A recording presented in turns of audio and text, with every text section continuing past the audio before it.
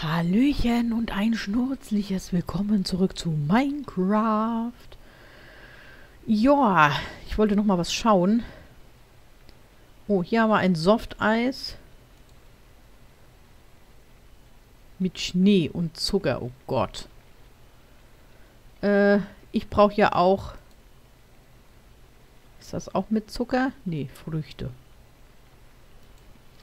Ein Vanilleeis. Eine blaue Orchidee. Ja, stimmt. Ich glaube, nee, Vanille, Vanilleschoten, ist das von der Orchidee? Das war doch, glaube ich, äh, Dingens, was von einer Orchidee kommt. Ähm, Safran. Früchte, Kohlenhydrate, Protein. Also ein Kirschkäsekuchen, da ist kein Zucker drin. Okay, das, das merke ich mir mal für die Realität. Da, da ist nur ein bisschen Protein mit drin äh, ein bisschen Kohlenhydrate und Früchte, aber kein Zucker. Das ist gut zu wissen. ja, ich brauche auch noch irgendwas. Ich dachte gerade, es wäre ein Eierbecher. Ich brauche auch noch irgendwas, wo ich meinen Zuckerbedarf decken kann. Joghurt, hier ist auch nur Früchte und Protein drin. Mit Milch und Kiwis. Dafür brauch, muss ich aber erstmal ein Fernseher bauen und irgendwie stimmt da was mit den Batterien nicht. Habe ich schon festgestellt. Oh ja, Batterien und Aufladedinger müssen wir auch machen.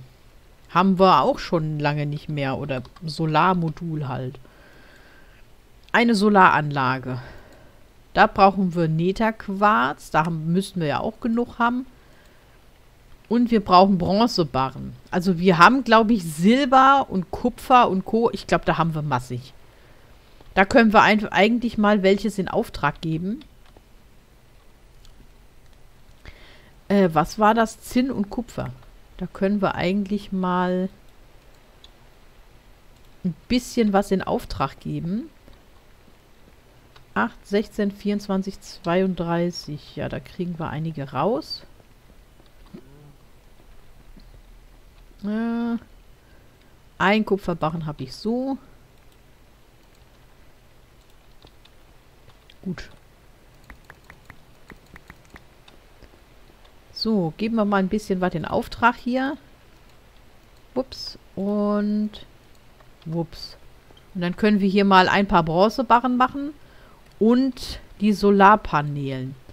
Also wenn wir vier Stück rauskriegen, 8, 16, 24, 25, ja. Wenn wir vier Stück rauskriegen, brauchen wir 3 mal 4 sind 12. 12 Quarz, 12 Glas und 12 Planken. Äh ich hoffe, ich zähle überhaupt richtig. Wenn nicht, dann sorry. Und 12 Holzbalken. Habe ich denn schon irgendwo fertige gehabt? Leberholz? Kleberholz? äh. Ah ja, komm hier.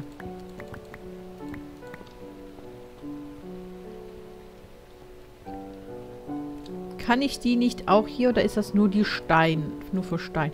Warum macht man... Lieber Sinobin, kannst du vielleicht auch mal so eine Holzsäge machen? Oh Gott, nein. So rum. Wäre es vielleicht mal möglich, vielleicht sowas wie die Steinsäge auch für Holz zu machen? Dass man vielleicht durch die Holzsäge, ich meine, mit so einer Holzsäge kann man ja beispielsweise auch die Form für einen Zaun oder so machen. Oder, eine, oder vielleicht eine, äh, eine Fräse oder irgendwie sowas. Wäre das vielleicht mal eine Idee? Äh. Ah ja, genau.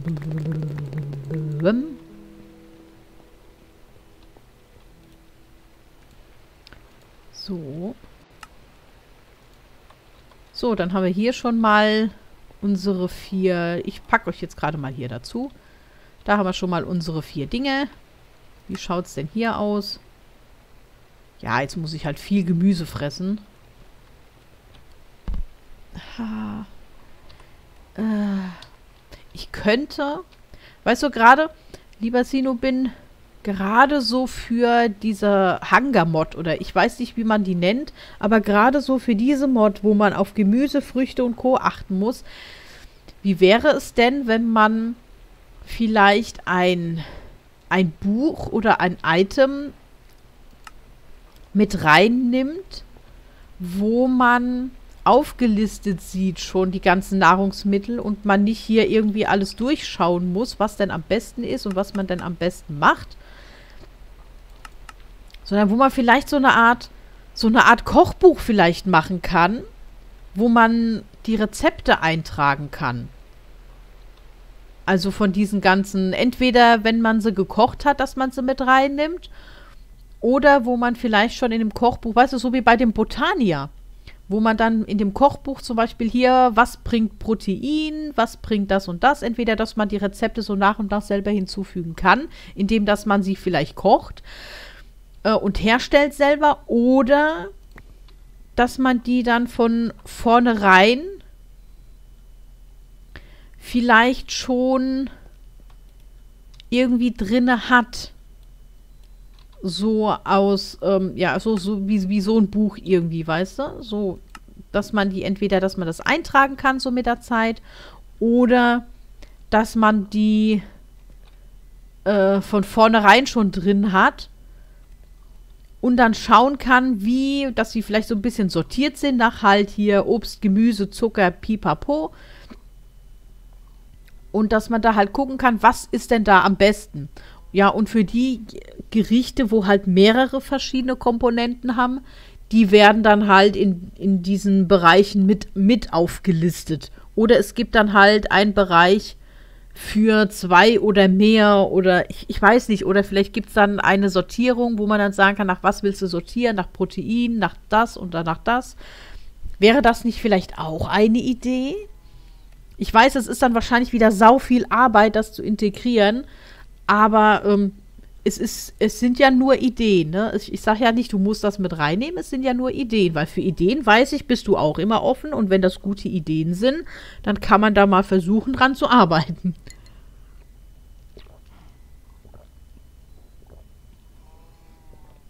Ja, auf jeden Fall, gerade so als Übersicht, für diese Modpacks, wo halt sehr viele Rezepte und so drin haben. Ne, denk mal dran, wo das Pam noch mit dabei gewesen ist. Da waren ja alleine irgendwie 30, 40, 50 verschiedene Crops mit bei, wodurch man ja dann auch irgendwie Dutzende verschiedene Gerichte machen konnte und da erstmal so das passende Gericht zu finden. Ich hatte ja damals, glaube ich, das Beef Wellington genommen und irgendein Smoothie. Ähm, das hat halt lange gedauert, sich da halt durchzufuchsen und rauszufinden, was denn da jetzt am besten passt. Deswegen ist, glaube ich, so eine Idee mit einem Art Rezeptbuch oder so vielleicht gar nicht mal so schlecht.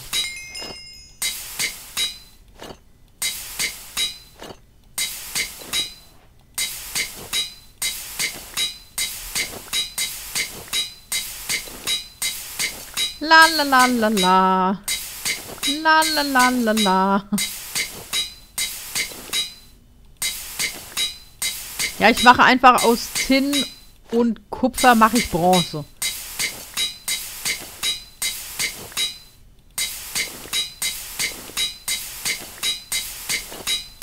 Ist eine schöne Musik übrigens. So, Dankeschön wir haben jetzt genug Bronze. Jetzt können wir noch für unsere vier Dinger die vier anderen Dinger machen. So. Den Rest heben wir auf. So. Und dann können wir... Ich glaube, da hat die Sinn. Unsere Batterien machen. Oh, wir brauchen ja auch noch Batterien, ne? Zum... Boah, was haben wir da nochmal gebraucht? War das Silber? Hallo?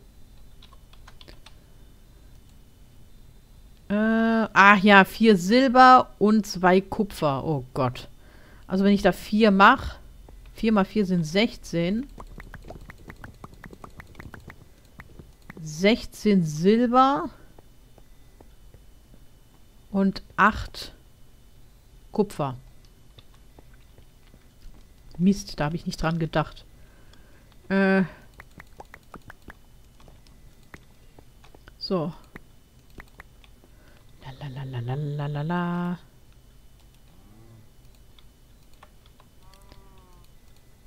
So. Und dann können wir die eigentlich schon mal oben hinstellen. Weil der gute Sinobin meinte, er wolle noch mal schauen, weil sich in meinem Privatspielstand tatsächlich die Batterien eigentlich überhaupt nicht aufgefüllt haben. Obwohl, dass die halt schön unter freiem Himmel und so standen. Deswegen nochmal, ne, hier oben ist nichts.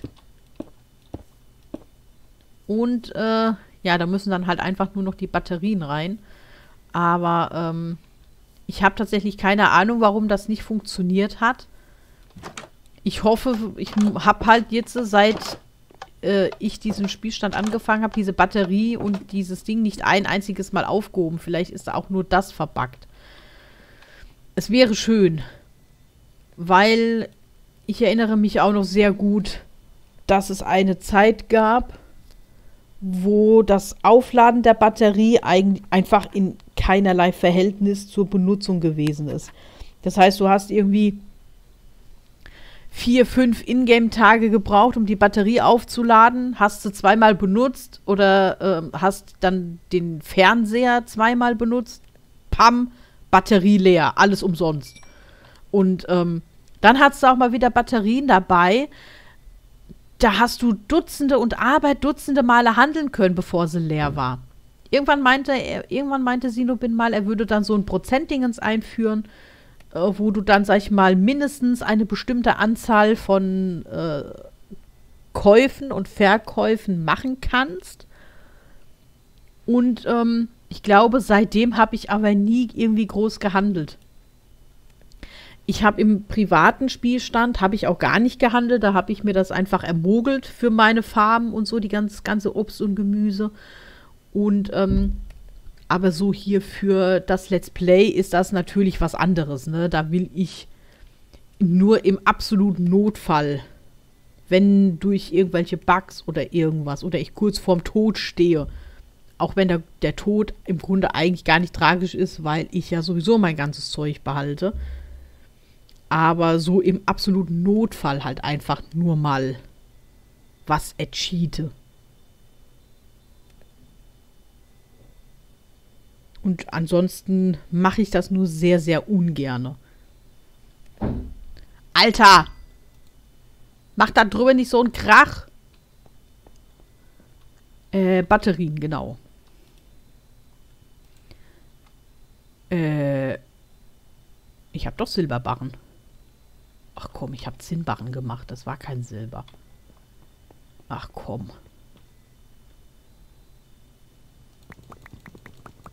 Ich habe das falsche Ding genommen. Äh, wie viel waren es? 16. Mist. Ja gut, dann gehen wir, während das Silber jetzt ein bisschen am Brutzeln ist, gehen wir dann halt einfach irgendwas, irgendwas machen. So, Entschuldigung, Leute. Entschuldigung. War meine eigene Blödheit. So, während das brutzelt, wir warten jetzt hier nicht, sondern wir gehen hier wieder ein bisschen unsere Mine erforschen. So. Zack. Und zack.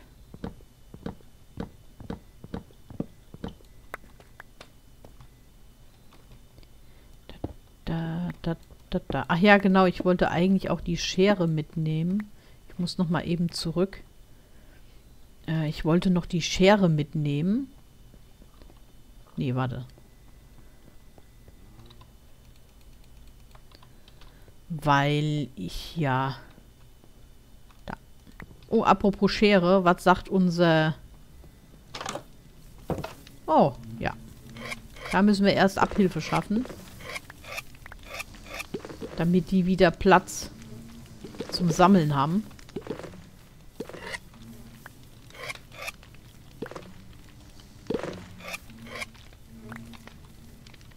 So. Ja, es sind immerhin 36, ne? Sind schon wieder neun... Neun Dinger hier.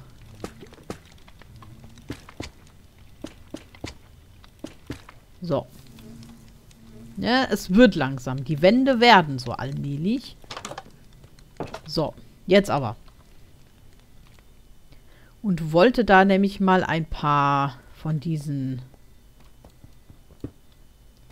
so mitnehmen.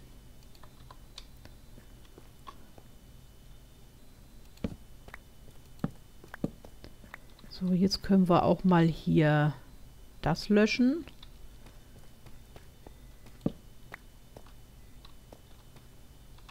Oh. Da wird uns auch bald vermutlich das... Oh, oder auch nicht. Aber hier jetzt wahrscheinlich. Ich gehe mal auf die andere Seite. Da wird uns jetzt das Kies um die Ohren fliegen.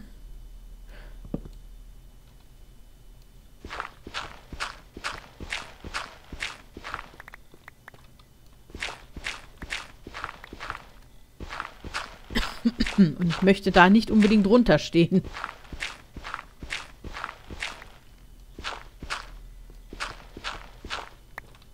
Das ist nämlich keine gute Idee.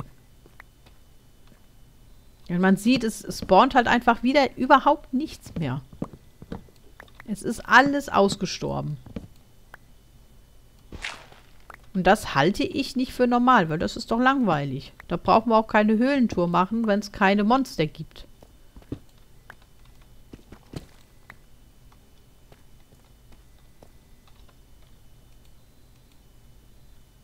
Äh.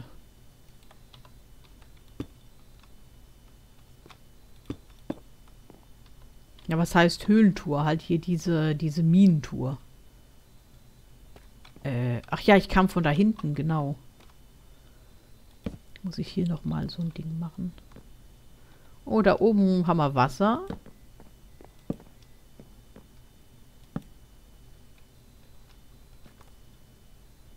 Okay, hier geht's nicht weiter. Ich dachte, jetzt geht's hier durch, aber da hat sich wohl meine Hoffnung zerschlagen. Hm. Es sieht schon cool aus, ne? Wenn man hier so diese ganzen... Aber selbst hier, hier ist halt einfach nichts. Ich bräuchte theoretisch noch nicht einmal ausleuchten, weil hier ist einfach halt... Hier ist halt einfach nichts. Deswegen würden wir auch wahrscheinlich so schnell nicht ans Schleimse rankommen, weil es spawnen ja keine.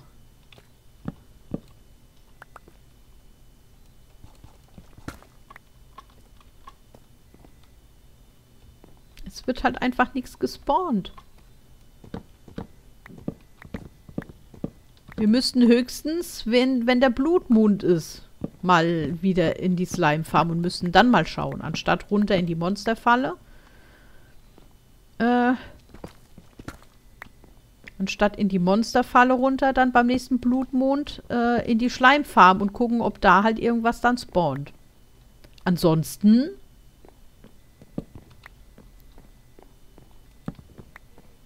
Es ist, es kommt halt... Ull. Ja, ich glaube, das kann ich eigentlich auch lassen. Das schöne Holz.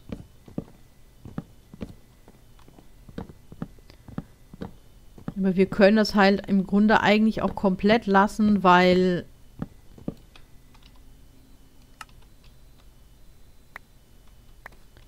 Es ja einfach nichts, ne? Es kommen ja keine, es kommen keine Monster, ne? Ihr seht, ich bin hier und ich bin im Kreativmodus, da müssten die im Umkreis trotzdem spawnen. Aber oh, ich muss diesen So schnell wie das kam, konnte ich noch nicht mal muten. Entschuldigung. Aber man sieht halt hier, hier spawnt halt einfach gar nichts. Egal, wo ich hingehe, äh, außer, außer wenn der Blutmond kommt, ne? Dann ist Polen offen hier. Aber ansonsten passiert hier halt einfach leider gar nichts.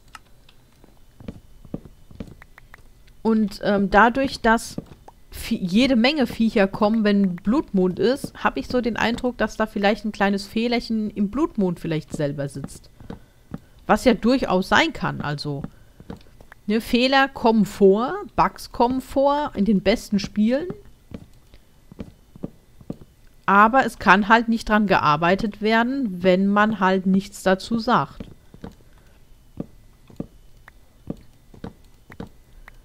Mich würde da in der Hinsicht mal interessieren, ob der gute Sinobin bereits von irgendwas weiß. Dass es da wohl Spawn-Probleme gibt. Das würde mich mal interessieren.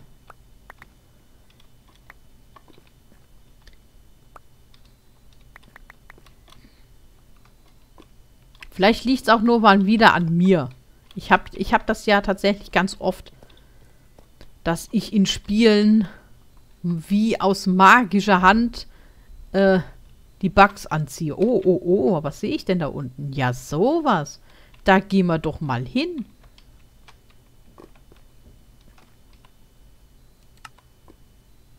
Weißt du, hier ist halt auch, es kommt halt einfach nichts. Ein bisschen Redstone. Ich markiere das hier mal. Äh, Monsterfalle. Monsterfalle. Mhm. Monsterfalle. Zombie. Äh, die Kiste nehme ich aber mit, dass ich weiß, oh, ich war hier schon. Ich laufe hier komplett durchs Dunkle und äh, da ist halt einfach nichts. Aber wehe, es ist Blutmond. Ist sie hier? Die Fledermäuschen sind da. Aber ansonsten ist hier nicht viel zu finden. Und das ist, finde ich persönlich, nicht normal. Also irgendwas stimmt da nicht, meiner Meinung nach. Ich meine, für Nether wäre das super. Ne, wenn hier nirgendwo Viecher spawnen. Das wäre für den Nether wäre das toll. Oh. Das ist aber auch... Hier haben wir, hier haben wir wieder eine Amethystblase. Da müssen wir sowieso noch hin. Ja, wie man sieht.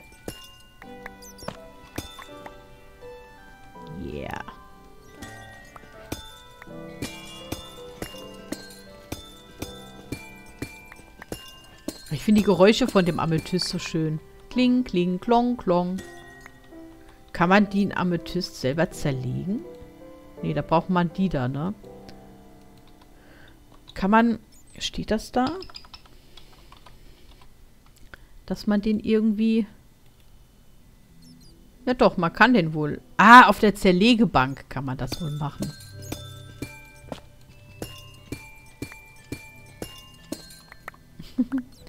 Gibt es eigentlich noch mehr davon? Also verschiedene? Oder nur dieses Amethyst? Weil tatsächlich habe ich bisher nur das Amethyst auch gefunden. Ich glaube, ich markiere mir das hier auch mal.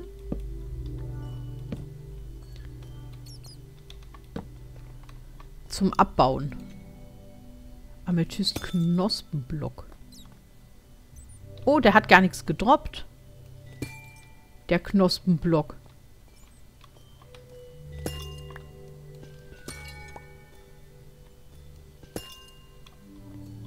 Nee.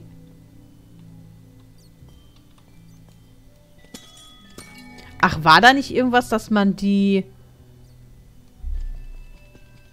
War da nicht irgendwas, dass man die züchten kann? Muss man die vielleicht an den Knospen... mit dem Knospenblock machen? Ich glaube, ich muss da mal welche lassen. Äh... Ich glaube, ich muss da mal welche lassen und muss mal versuchen, die mit Ding abzubauen. Mit Behutsamkeit. Weil ich glaube, mich zu erinnern, dass Sinobin da was gesagt hat. Von wegen hier, Ort züchten ist ja relativ einfach zu kriegen, weil man die Amethysten ja auch irgendwie züchten könnte. Irgendwie sowas in der Richtung.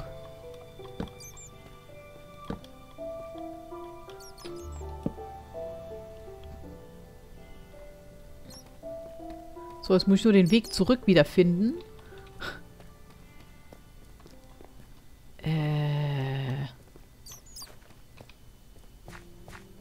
Ah, hier. Aber ihr seht schon hier, normalerweise, es würde hier in der Entfernung überall was spawnen, aber es passiert einfach nichts. Ich glaube, da muss man wirklich mal schauen, weil ich halte das nicht, nicht so wirklich für normal.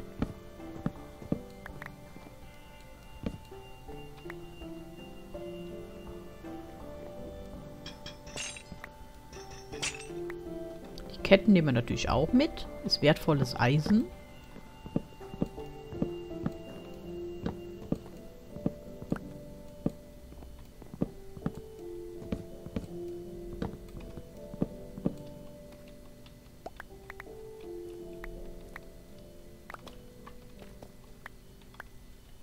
So, komme ich denn so wieder hoch? Ich nehme mich aber mit.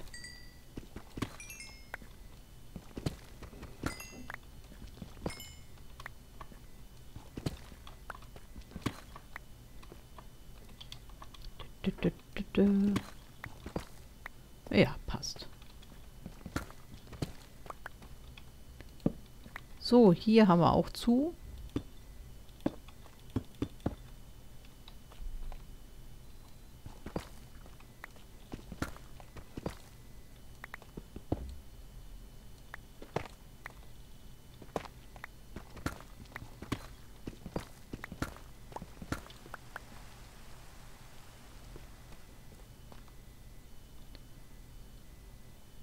Also ich komm, kam wahrscheinlich von hier, weil die Dinger hier links sind und nur links.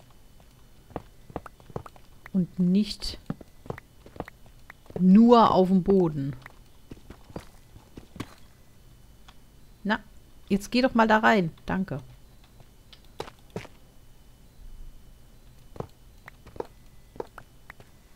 So, also hier waren wir. Hier können wir auch dicht machen.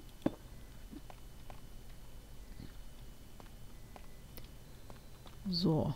Gib das mal mit.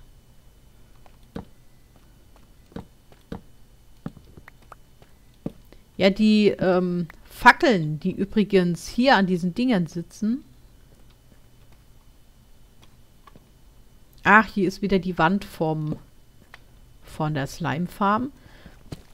Ähm, die Fackeln, die wo oben an den Holzbalken sitzen, die sind mitgespawnt. Also die habe nicht ich gesetzt, sondern die äh, spawnen automatisch mit.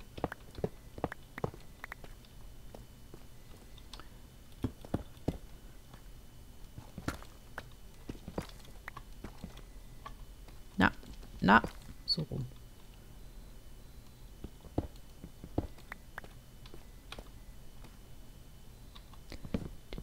Jetzt haben wir schon wieder 28 Minuten. Alter, wie scheiße schnell geht dann bitte aktuell die Zeit hier rum? Das ist ja unerhört. So, dann sehen wir uns in der nächsten Folge wieder. Ne? Tschüss.